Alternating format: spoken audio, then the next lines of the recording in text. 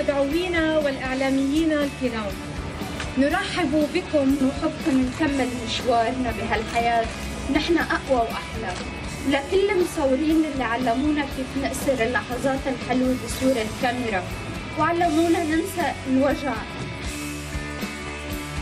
وإرادة الشفاء من جراح الحرب هي التي دفعتني لإكمال مسيرتي. وعلى تقديم أفضل علاجات واهتمام آه، لأطفالنا.